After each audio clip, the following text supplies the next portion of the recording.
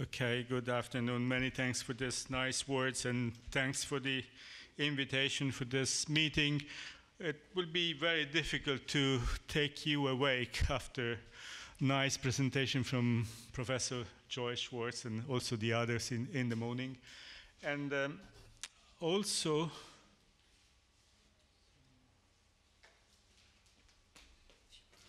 What do you want to do?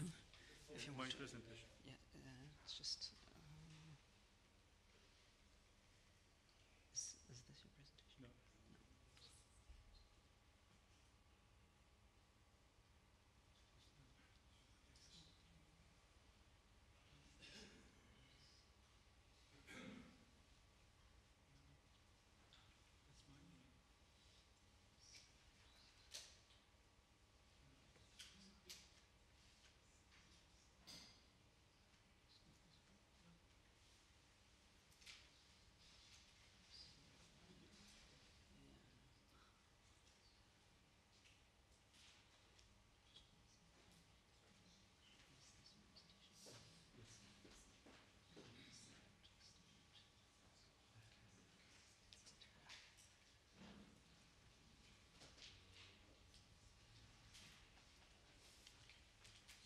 Okay, many thanks. Sorry for this.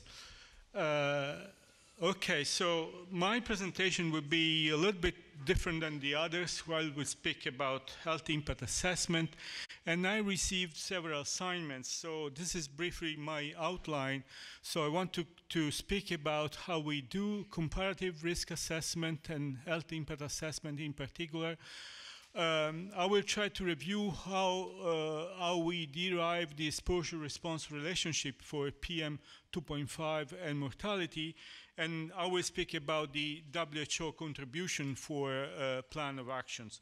And of course, because of the time constraints, um, I will cut some of the presentation to stay within the, the, the new time limit. You- You know, we are a little bit late. So first of all, uh, let's go to health impact assessment. This is a very uh, well-known concept from, from WHO. Basically, we want to assess the impact, uh, health impact of uh, any policy, program, or intervention. And that's, that has been well described by WHO since 1999. Um, when we go to uh, uh, air pollution, we might, uh, we might have two different uh, questions here. What's the burden uh, of the uh, health uh, of the uh, health effect of air, pollution in total, and what could be the impact of exposure changes? And you see this, you know, this is okay, and you see this. Okay, this is the effect of uh, having Apple instead of. Okay, sorry, it's not coming. But um, so basically, we want to see what's the effect of uh, uh, uh, the exposure here. Uh, the total burden uh, of disease versus the comparisons with a different scenario. I'm sorry, probably because of the translation between Windows and Apple, some of the slides are a little bit confused. So, uh, the, the uh, very useful concept that we have from epidemiology is the concept of uh, population attributable risk, which is simply the difference of the incidence of the disease among the exposed and the incidence of disease among the non-exposed. And you see here, uh, this, this is the excess risk. And of course, we, we, we can uh, uh, calculate the attributable fraction, which is the fraction um, of the disease which is due to, to the exposure. Very simple concept in, in epidemiology. And, and the main steps of the health impact assessment have been described by WHO in a specific publication. You basically, you, you need, you need uh, air pollution data, you need population, um, you, you, you should calculate exposure, and usually the population weighted exposure. You apply the concentration response function, or, or it's also called the exposure response function, and together with background da- data, you calculate the impact. So it's very simple. You, this is different than an epidemiological study. The epidemiological study is concentrated in, in providing the exposure response function. This is uh, basically an exercise of estimation. So in this exercise of estimation, what we can produce, we can produce different indicator. One indicator is, of course, uh, um, uh, attributable death, but we can estimate years of life lost, years of life with disability, disability adjusted life years, but more important, we can provide information in changes in life expectancy, which is a very very good indicator that people can, can easily understand. Um, uh, I found this, this uh, from COMEAP in, uh, COMEAP in, in UK, which is the official committee on air pollution in United Kingdom. There's a very nice document speaking about the meaning of, uh, the meaning of uh, this impact um, indicator. And, and first of all, we have to recognize these are indicator at population level. These are not indicator at individual level.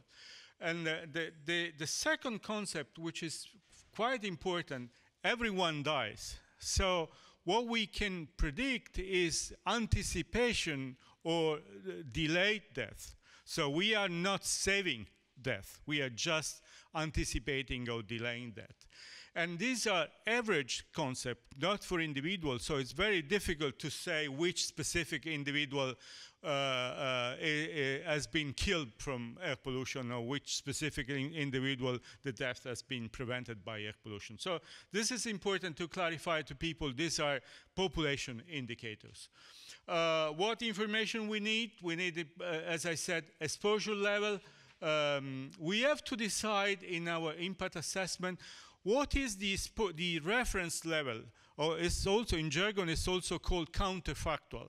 So we might say, what's the level uh, we want to estimate the impact? This level could be the air quality guideline, for instance. Suppose we want to decrease the air pollution to the uh, air quality guideline, what would be the burden uh, uh, of disease above the, the, the air quality guidelines? Or we may say, let's suppose that PM 2.5 does not exist or exists only at the natural background level. So we have to define this counterfactual. We have to find the co- concentration response function and of course uh, health statistics and, and the population we want to apply this. So what are the important assumptions in, in health impact assessment?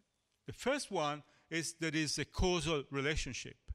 And, and uh, Bert Brunekreef was presenting today, uh, you know, the, the EPA evaluation on, on, on different outcomes. And, and of course, for some of the outcomes like um, uh, PM 2.5 and all-cause mortality, there is a causal uh, relationship. But the second concept is it's the called the portability of the relative risk. So we now are aware that uh, for long-term effects of air pollution, most of the studies have been conducted in North America, Europe, and some of them in China. So what we are saying is that we are generalizing the relative risk from these countries to other countries. And that's, of course, is an assumption that we make in our, in our health impact assessment. And this is very, a very important assumption. Uh, there are several uh, applications of the health impact assessment, the, as I said before, the burden of disease, but it's very useful for comparison of different scenarios. What if we reduce air pollution to that specific level. And it's very used in cost benefit analysis. And actually, the, the European policy on, on air pollution has been conducted after the c- very accurate cost benefit analysis. So now we go to the question what about comparative risk assessment? What about air pollution in comparison to other risk factors? And, and we, we are well aware that in 2012, this publication was uh, first published. It was the Global Burden of Disease related to 2010. This is an important project that has been going on in, uh, during the years, and there is an update every year. And this is the, the graph coming from that publication in The Lancet in 2012. We were ranking uh, of the several factors. And you see, you know, in the uh, in the top, uh, the top factors are of course high blood pressure, tobacco smoking, all the factors that we know. And it was surprise, surprise for most of us to see air pollution ranked among the biggest killers in, in the world. So this is a way to do the comparative risk assessment and the global burden of disease as continues to, to, to, to, to, to, to do this. And uh, in, in the Lancet in May 2017, the global uh, assessment of the effect of air pollution on mortality has been published with this estimate 4.2 million deaths attributable to PM2.5 in 2015. So this is the, the, the figures that comes from, uh, from, from GBD.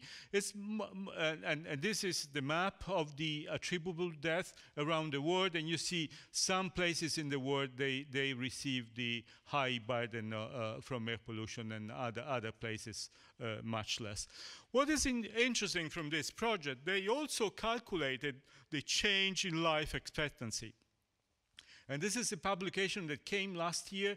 And for each specific country, you have the survival cur curve for, for the population in that country. This is the survival curve for China and the life expectancy for China.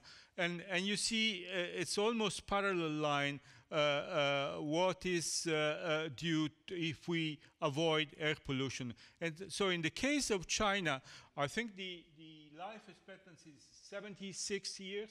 If you reduce, if you um, reduce air pollution, the gain would be 1.2 um, life in life uh, uh, years in life expectancy.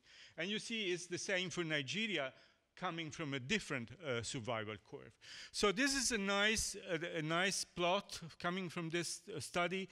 So you see if you increase the annual average of PM2.5, the change in life expectancy change, you go from zero to two years, and of course the change in life expectancy is, is small, maybe six months or one year in, in, some parts of the world, is much higher in China in other parts of the world. So this is a very powerful way of communicating people. We always say in, it, in Italy, air pollution is, is uh, depriving people of one year of life expectancy, which is, uh, uh, uh which is a, a, a very important uh, message. Um, what, what WHO does, WHO uh, collect all the information regarding the exposure, so they have um, uh, uh, you know, they collect all the information on annual mean concentration of several pollutants, including PM10 and PM2.5. For more than uh, 5,300 fixed monitors, they have uh, data from uh, 2010 up to 2017, and they are, of course, continuing. Uh, they show the levels of air pollution worldwide, and um, what the WHO says is, of course, is uh, how much the total population is affected and uh, what, what's the proportion of the population which is above the air quality guidelines. As most of the population, if you, if you uh, with the exception of North America, of course, and, and some part of Europe, most of the worldwide population is above the air quality guideline. And um, uh, basically, the WHO adopt the global burden of disease methods for uh, calculating the impact of air pollution. So there are no differences in the in the in the in, in the methods. And this is the the publication from uh, from WHO is very similar to the publication in the Lancet from from, from the GBD. Uh, uh, WHO uh, makes also calculation of comparative risk assessment as GBD does, and this is comparative risk assessment for 2016, where you have uh, ambient air pollution here, and of course you have other factors like smoking and high sodium intake and low physical activity. So this is a very powerful instrument to show people how important is air pollution. Uh, so now, now the, the next question, is how we derive the exposure response function. And this is quite interesting. It's a matter of, of discussion and uh, it's a matter of, uh, you know, scientific uh, interest. Um, so in uh, some years ago, there were very, there, there, were very few studies on, on PM 2.5 and, and, and mortality. And this study is the American Cancer Society study published in 2002 about 500,000 people in the US, and this study is producing nice graph of how all-cause mortality is increasing with increased PM 2.5. But you see the range of the exposure here is, goes from 10 to about 30 micrograms cubic meters.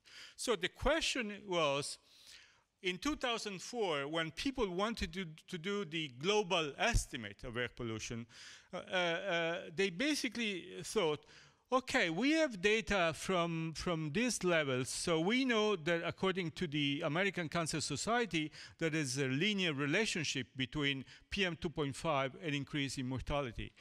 But what about levels of air pollution which are higher than 30 micrograms per cubic meter or higher than 50 micrograms per cubic meter. So we can do, we can do the linear uh, extrapolation, but as soon as we go to China or to India, we can predict that everybody dies from air pollution because of this linear extrapolation. So this is clearly not true. So what we can do, this is people in 2004, so we can say, okay, we have a linear relationship here, but as soon as we arrive to 30 or as soon as we arrive to 50, we don't allow any further increase. This is an assumption, of course. But of course, this is not a good assumption because it's not based on, on real data. Uh, there is a guy here that was also mentioned from Joel Schwartz, is uh, Arden Pope, that had this bright idea, and it was let's, let's look air pollution data together with uh, smoking data, and let's look how the uh, exposure response curve is. And he clearly showed that the exposure response is not linear, it's curvilinear. So from that, there was a, a nice idea that was uh, developed in 2014, which was to integrate the data coming from air pollution studies, data coming from studies on secondhand smoke, and da data coming from uh, uh, active smoking to build up a sort of so-called integrated exposure response. So this exposure response is coming from a mixture of different studies. And this mixture of different studies, of course, consider that in the observation there is a gap in the middle because uh, uh, we can arrive to some concentration with second-hand smoke, but of course active smoking is much more higher. Uh, what are the assumptions for applying this integrated exposure response is that PM 2.5 from different sources, they have the same toxicity. And this is, of course, a very important assumption. You know, we are saying that for the same amount of PM 2.5, either coming from air pollution or coming from cigarette smoking or coming from uh, passive smoking, the effect is the same.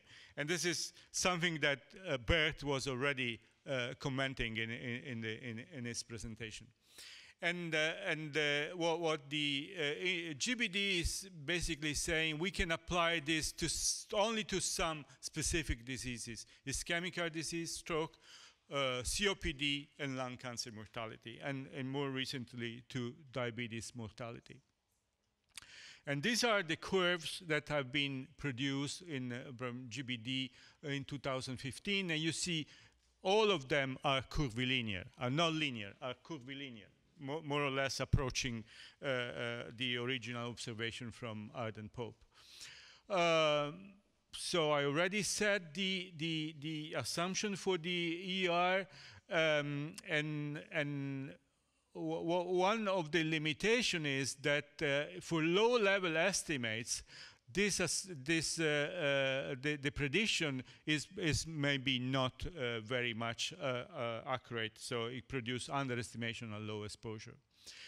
So from there, uh, we have two main, and this is important for us to understand the difference in this uh, um, impact assessment. So uh, there is one stream, people, especially in Europe, not worrying about high levels of air pollution, you know, staying within the 30 micrograms cubic meter, saying we can apply the linear uh, relationship. There is no need to apply this integrated response function. So there are several applications based on the linear or log linear function. On the other hand, if you want to go global, If you want to make the risk, the, the impact assessment for all the world, you have to use the, in, the integrated exposure response function.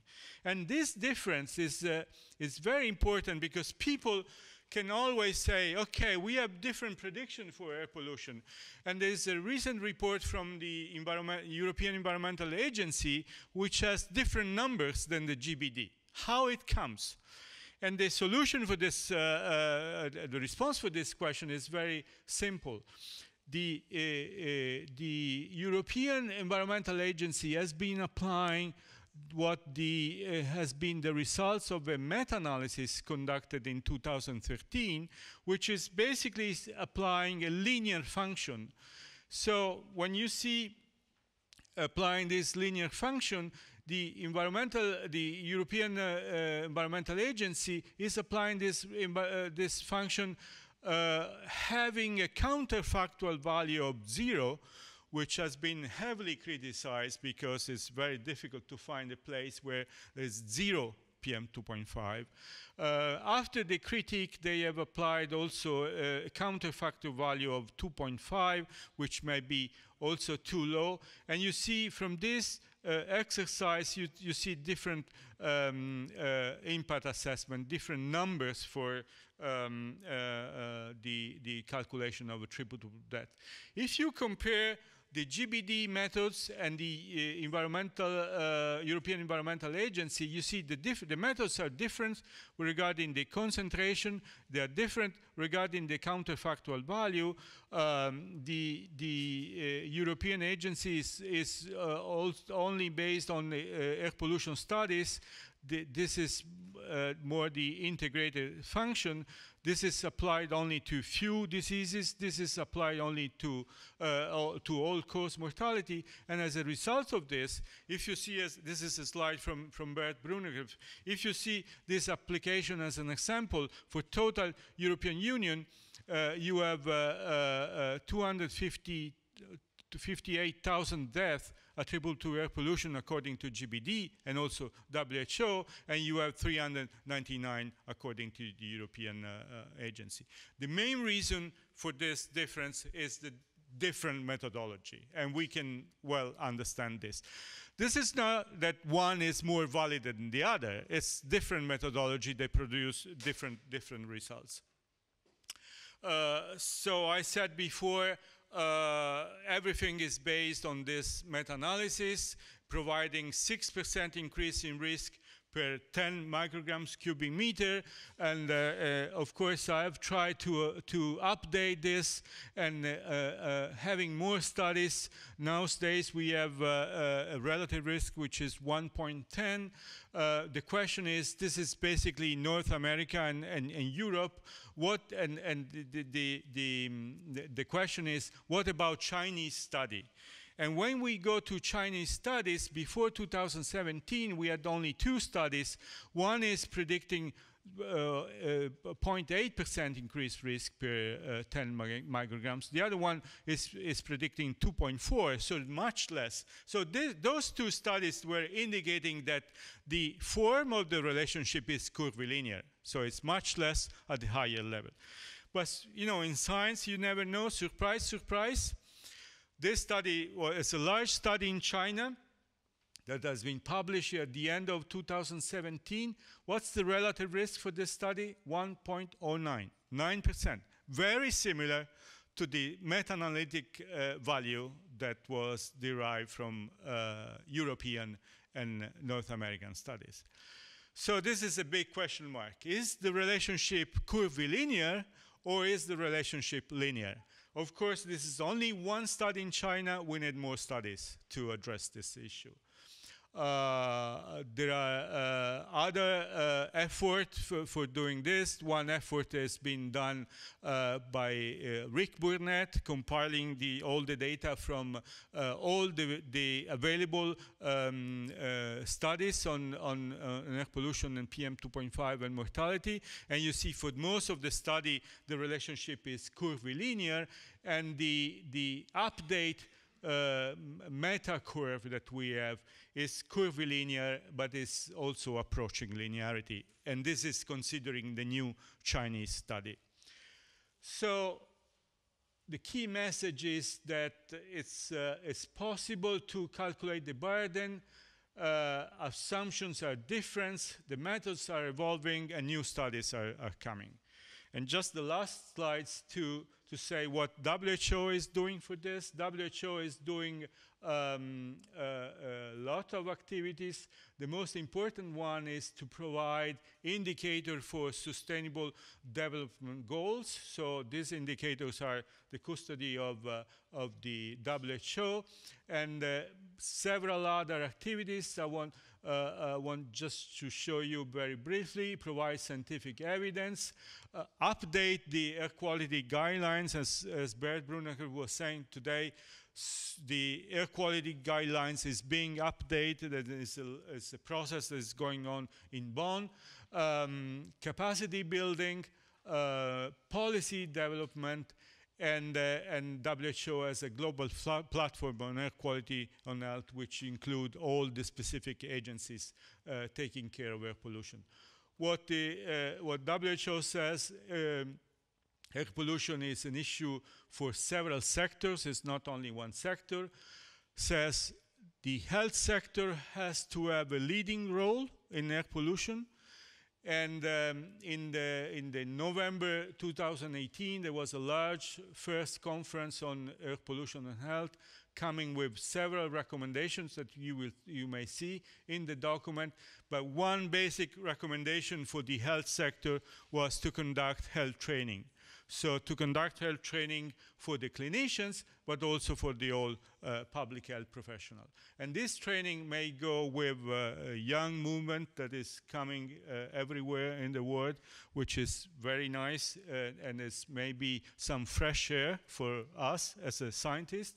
And that's the end of my story. And I thank Sophie Gumy from WHO for her help.